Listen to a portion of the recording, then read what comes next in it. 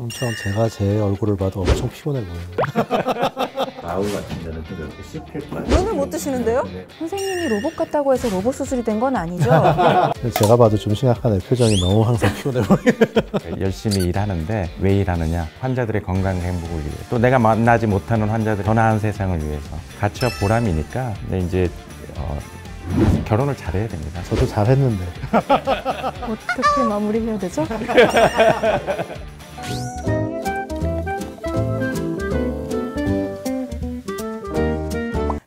갑상선암이 어떤 존재인지 자, 착한 암이라는 별명도 저는 약간 따뜻한 아이스 아메리카노 같은 느낌이거든요. 사실 암이라는 것 자체가 무시무시한 존재인데 착한 암이 어디 있겠어요. 이 표현 자체를 정확하게 비판적으로 잘 말씀하신 거거든요. 굉장히 역설적인 표현인데 암이라는 표현을 쓰면서 착하다는 표현은 잘못된 거죠. 그래서 저희가 그렇게 표현하지 않고 5년 지나면 대개의 암은 저희가 어, 완치되었다 이런 판정을 내리거든요. 근데 갑상선암은 그런 표현을 쓰지 않습니다. 최근에도 제가 20년 지나서 재발한 환자가 있었거든요. 그러니까 아주 천천히 진행하기 때문에 5년 동안의 결판이 나서 완치된다 안 된다 하는 거는 저희가 단거리 암 이렇게 네. 얘기할 수 있지만 이 암은 장거리 암인 거예요. 갑상선암은 천천히 장거리 어, 경주가 필요하고 여정이 필요한 암이다. 그렇게 하는 게 저는 더 적절한 표현이라고 생각을 합니다. 맞아요. 그래서 거북이 암이라고도 예. 말씀하시더라고요. 그런데 오늘 특히 이 자리에 김훈엽 교수님께서는 로봇 경구 갑상선 수술을 세계 최초로 개발하신 분이기 때문에 쑥스러우시겠지만 이게 얼마나 대단한 업적인지. 저희 갑상선암 환자들은 좀 젊은 환자분들이 많고 여성과 남성을 비교하면 여성이 4대 1로 어, 남성보다 많기 때문에 이 부위를 이렇게 째고 수술을 한다는 거는 어떻게 보면 평생 이렇게 보면 주홍 글씨처럼 사실은 이 흉터를 어떻게 없앨까 하는 연구들이 이제 90년대 말 2000년대 초반서부터 이제 시작이 됐었고 뭐 겨드랑이 쪽으로도 이제 들어오고 뭐 이렇게 유방 쪽으로도 들어오고 이렇게 멀리서 이제 들어와서 내시경 또는 로봇 수술을 했었는데요.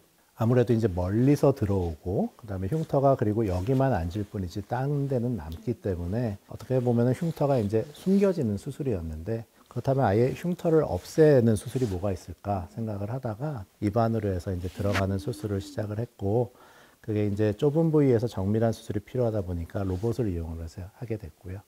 그래서 입안으로 사실 수술을 시도한 거는 독일 쪽에서 먼저 시도를 했었는데 기술적으로 좁고 어렵다 보니까 여러 가지 합병증이 많아가지고 환자들한테 실질적으로 많이 적용은 되지 못했었는데 제가 이제 로봇을 이용을 해서 세계 최초로 시작을 하면서 여러 가지 합병증을 다 극복을 하고 지금은 약 한 뭐 2천 내 정도 이제 어, 수술례가 쌓여 있어가지고 그 안정성도 확보가 됐고 특히 결과도 좋고 환자분들 만족도도 좋고 환자분들도 많이 많이 오시고 계십니다. 그렇죠. 환자분들뿐만 아니라 으- 뭐 소위 선진 의료국이라고 하는 데서도 많이 이제 전수 받으러 오시잖아요. 네, 뭐 미국 쪽에서도 많이 수술 시연도 했고요. 뭐 아시아, 뭐 유럽, 뭐 많은 나라에서 수술 뭐 배우러도 오고 제가 실질적으로 가서 수술도 해주고 저희 팀이랑 같이 수술 시연을 하고 있습니다. 이야. 그러면 갑상선암 수술 분야에서는 그냥 1등이라고 저희가 확실하게 자막을 달아도 되는 건가요? 아, 뭐 좀 창피한 얘기인데 네. 어 이거 제가 제일 잘하는 것 같긴 해요. 제가 제일 잘하는 것 같긴 해요. 와 멋지다.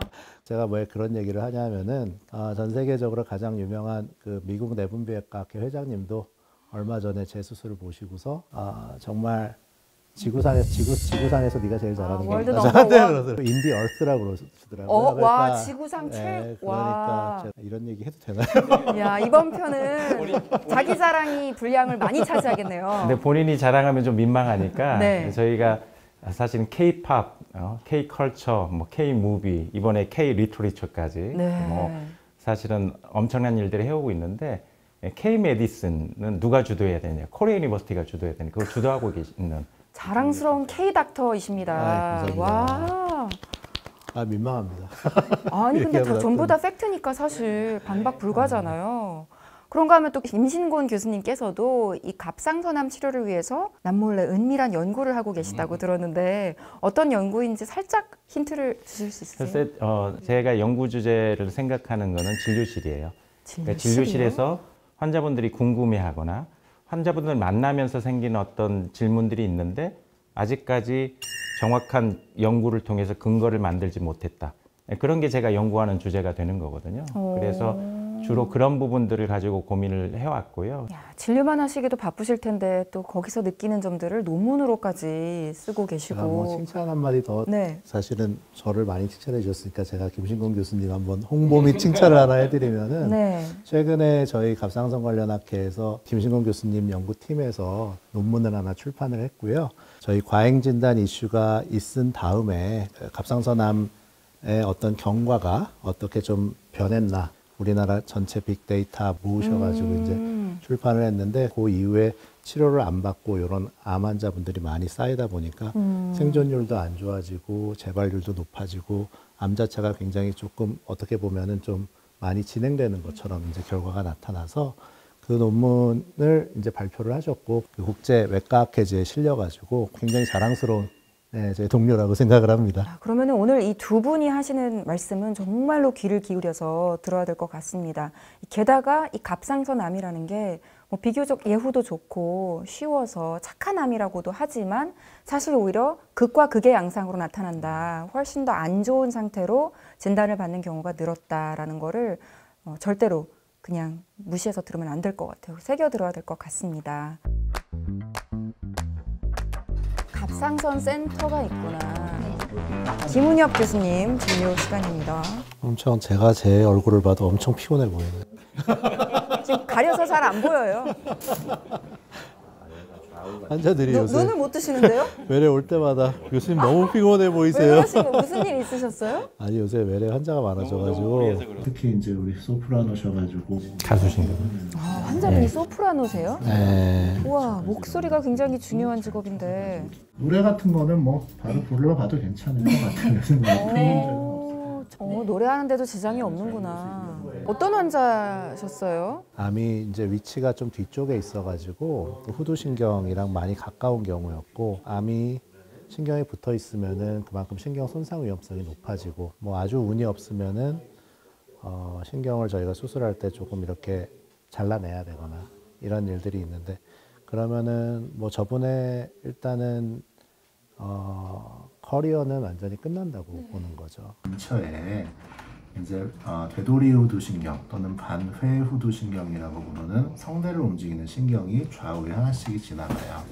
여기 지금 이런 갑상선 붙어 있는 걸 이렇게 띄는 수술을 한 건데 암 같은 경우에는 이 뒤쪽에 있었단 얘기인데 이 뒤쪽에 있는 게 지금 여기 보면은 기도, 식도, 요 신경 요 부위에 이제 가까이 있을 수밖에 없고 어, 암이 물론 최악의 경우에는 요 신경을 침범할 수도 있는 거고 그리고 또 한 가지 부분은 상후두 신경에 아주 작은 가지가 하나 또 갑상선 위쪽으로 지나가는데 요거를 만약에 다치거나 그러면은 요거는 성대를 파르르 떨리게 하는 신경이기 때문에 고음이 안 나와요 환자분들이. 굉장히 위험한 상황이었는데 하여튼 그래도 수술이 잘 돼서 저분 아주 해피하게 그러니까 와, 저 신경 정상적으로 네. 똑같이 활동하고 네네 있는 거예요? 아마 그러실 거라고 생각을 합니다. 물론 이제 목소리를 내는 게 꼭 신경 하나만 가지고 이제 아, 나는 건 아니기 때문에 주변에 뭐 근육이라든지 뭐 여러 가지 이제 염증 같은 게 다 가라앉아야지 목소리가 잘 나오시긴 하는데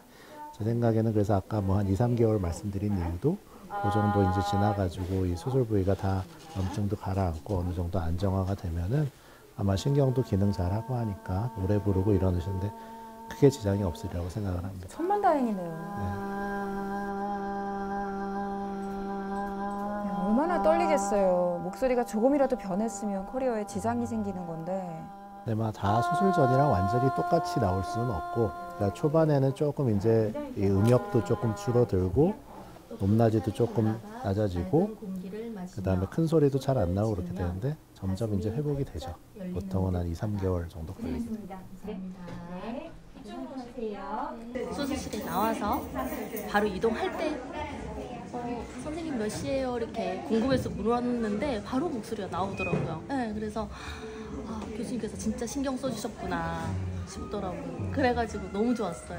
그리고 다시 잠들었지만 저도 이제 목소리를 사용해야 되는 직업이다 보니까 만약에 갑상선암에 걸린다 이러면 제일 처음 걱정할 게 목소리일 것 같거든요. 그런데 이렇게 해도 또 완벽하게 치료가 될 수 있다고 하니까 마음이 놓이네요. 아니요, 저는 증상이 아무것도 없었어요. 그래서 더 몰랐어요. 7년, 8년 전에 갑상선하고 유방 쪽 초음파를 하다가 아주 작게 7mm 정도 있었는데 계속 추적 관찰은 하고 있었어요. 커지지 않으니까 지켜보자 해서 있었는데 이번에 어, 세친 검사를 하면서 크기가 커졌어요. 아무 증상은 없었어요. 근데 목이 살짝 뭔가 이물감 같은 게 느껴지긴 했는데 갑상선암을 자가 진단할 수가 있어요?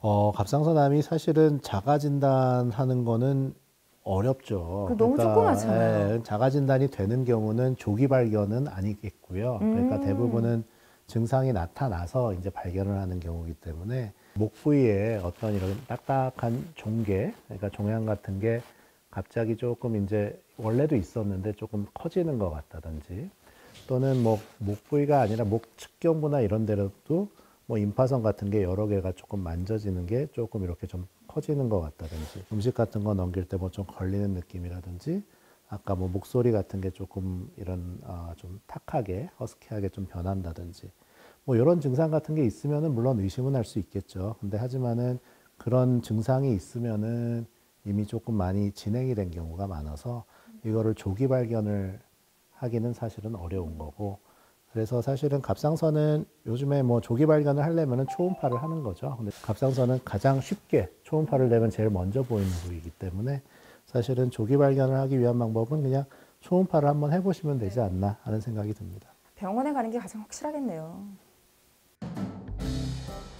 환자가 많아서 이번 이번 수술실은 거의 저 혼자만 일주일 내내 쓰는 것 같아요. 그래서 아, 수술 자체는 그래서 어, 로봇을 이용을 해서 드디어 나왔어요. 경구 어, 로봇. 경구 접근법으로 해서 와, 로봇. 두 권이라고 해요? 저걸 뭐라 그래요? 머리? 수술모 수술모 수술모가 너무 예뻐요. 수술실에서 유일하게 꾸밀 수 있는 게 저거 하나밖에 없기 때문에 저거 확 띄는데요? 예, 예전에는 이렇게 딱 교수들만 쓸 수 있는 거였는데 요즘은 또 뭐 레지던트들도 쓰고 들어오고 막 뭐라 그럴 순 없더라고요. 그래서 야 다들 뭐 그래 우리 다 아, 이쁜 또- 거 쓰고 다니자 요새 그러고 있습니다. 수술모 경쟁이 있구나. 나름 여기 made in USA.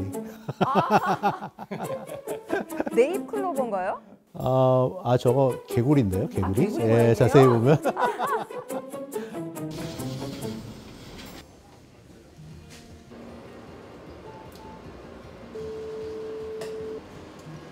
저렇게 화면을 보면서 로봇 팔이 들어가서 수술을 하는구나. 입안으로 지금 팔이 들어가서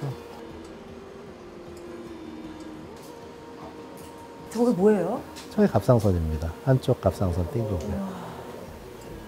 이전에 이렇게 흉터를 남기는 수술을 할 수밖에 없었던 환자들은 너무 아쉽고 속상하겠다. 요즘에 저렇게 흉터를 안 남길 수 네, 있는데. 많이 많이들 보신 분들 많죠. 네.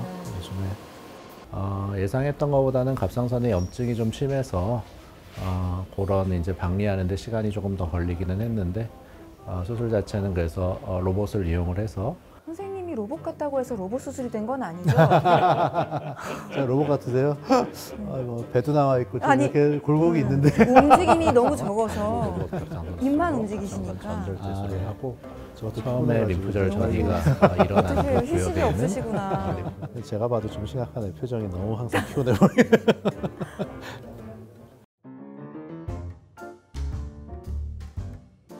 선생님 뵙고 굉장히 좋아졌어요. 김신국 교수님 뵌건 음, 굉장히 행운으로 생각합니다.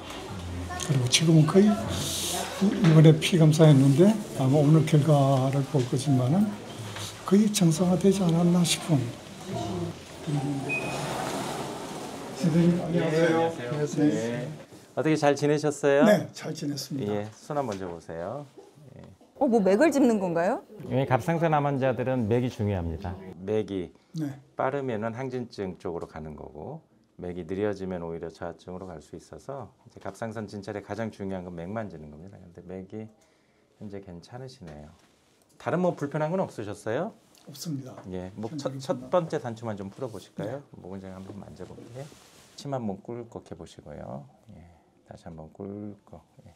갑상선도 커져 있지 않고 네, 이번에 네, 검사한 그렇습니다. 것도 깨끗하게 나서 지금 약은 반알로 먹고 네네. 계시죠? 반알짜리 약을 지금 2023년 7월부터 약 시작해서 계속 줄여 나간 거거든요. 네네. 근데 지금 이제 반알 정도면 중단을 고려할 정도가 됐어요. 그래서 네. 지난번에도 제가 말씀드렸을 거예요. 이번에 기능이 좋아지고 갑상선 자가항체도 괜찮게 나오면 중단을 한번 고려해 네, 보겠습니다. 네. 그래서 이제 중단하려고 그래요. 그래서 박수 쳐드릴 수 있어요. 일단 약을 감사합니다. 중단한다. 그러면 중단하고 나서 이제 앞으로 멀쩡할 거냐, 아무 문제 없을 거냐, 병원 안 와도 되느냐, 그건 아니에요. 네, 네. 지금은 자가항체가 완벽한 정상이기 때문에 네. 약을 중단해도 말씀드린 것처럼 재발할 가능성은 30% 미만이다. 아, 선생님 수시로 뵙고 재발에 관한 선생님 뵙는 예. 게전더 좋습니다. 예. 근데 너무 자주 안 뵈도 돼요. 재발의 거의 90%는 첫 2년 동안 이루어지기 때문에 2년 동안은 제가 조금 자주 뵐 건데 네. 2년이 지나면 그 다음에는 1년에 한 번 정도 오셔도 됩니다. 이제 재발 증상이 어떨 것 같아요? 처음 증상 생각나세요? 네, 네. 어땠어요 그때 증상이? 체중이 체중이 빠졌죠? 뭐 극도의 피곤함. 예, 그게 제일 음, 대표적인 무기력, 증상이고. 네. 그래서 원래 전형적인 증상은 내가 가만히 있어도 항진증이라는 건 갑상선 호르몬이 과잉 분비되니까 네. 신진대사가 활발해지는 거예요. 그러니까 가만히 있어도 뜀박질하는 거나 마찬가지. 그래서 칼로리가 많이 소비되니까 체중이 빠지는 거고요. 가슴도 좀 두근거릴 수 있고 더위타고 땀나고 이럴 수 있는데 연세 드신 분들은 그런 전형적인 증상이 좀 약할 수 있어요. 네. 많이 무기력해지고 체중 빠지는 증상으로 나타날 수 있어서 지금 그걸 기억하시면 돼. 처음 경험했던 증상. 네. 그러니까 너무 무기력해지고 설명 안 되는 피로감이 있고 이유 없이 체중이 빠진다. 그런 증상이 생기면. 미리 오시면 됩니다. 정확하게 아셨어요. 어, 뭐 요즘은 뭐 운동할 정도고 예, 기분도 좋고 컨디션도 좋고 예. 아주 뭐 감사합니다. 앞으로도 더 좋을 거라고 기대하고 기도하고 고맙습니다. 응원합니다. 그렇게 하겠습니다. 예. 아, 이런 것도 찍으셨어요? 아니 우리 제작진이 찍을 때 몰래 찍나 봐요. 왜 다들 놀라세요? 와 냉장고가 꽉 차 있어요 음료수로. 아니 근데 저거를 그때 드렸는데 너무 재밌었던 게 주스 드렸는데 뭐 너무 오랫동안 안 먹은 주스가 드려가지고 유통기한 나중에 지나- 혹시나 봤더니 이게 유, 유, 유통기한 지하고 다시 바꿔드렸어요. 라이마니노프 피아노의 협주곡은 전 굉장히 좋아합니다. 근데 음악이 될진데 생명은 어떻겠느냐. 결국 전쟁이라 할지라도 형제를 끊을 수 없고 전쟁이라 할지라도 음악은 오히려 그걸 넘어설 수 있다. 하물며 의료는 이 얘기를 하고 싶어서 어, 시작을 한 거죠.